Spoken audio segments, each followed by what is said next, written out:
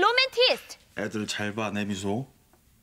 게다가 자녀 두 명을 거뜬히 돌보는 육아의 달인. 남편들이 미워할 만 하겠죠? 한글 and 가람 care 거뜬합니다. 셋째도 가능할 걸. 아니 셋째는 무슨 그래요 지금 상황이?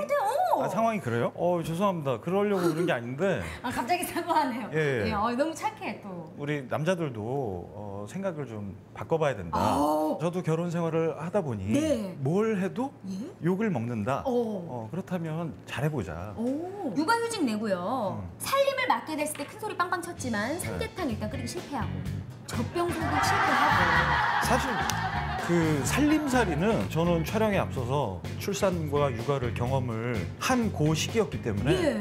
너무 잘 알고 있고 아. 아, 그거를 좀 이렇게 더 못하는 것처럼 하는 게 오 캐릭터가 안 맞네 지금. 예, 좀 힘들었죠 사실. 오. 그러면 그리고- 역할을 못 하겠다 하셔야죠. 역할을요? 예. 그럼 전 뭘 합니까? 근데 또 얼마나 힘들었으면은 그쪽에서 우리 김재민이 네, 네. 손목 건초염 전 처음 들어봤어요. 극중 고된 육아 살 림으로 병까지 얻게 됐죠? 손목 건초염 아닙니까? 손목 건초염이요? 살림을 하면서 어디?